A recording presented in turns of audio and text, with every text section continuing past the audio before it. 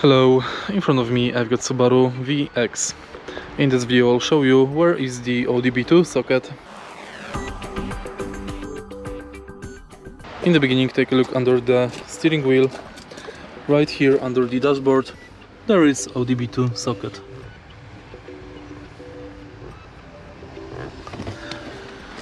If you find this video helpful, please leave like, comment and subscribe.